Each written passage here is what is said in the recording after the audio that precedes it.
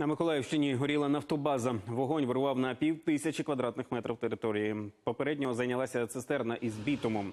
Очевидці кажуть, перед тим як загорілося, чули вибух. До гасіння залучили півсотні рятувальників. Щоб не дати розгулятися стихії, довелося охолоджувати сусідні ємності. Поліція, як одну з версій, розглядає підпал.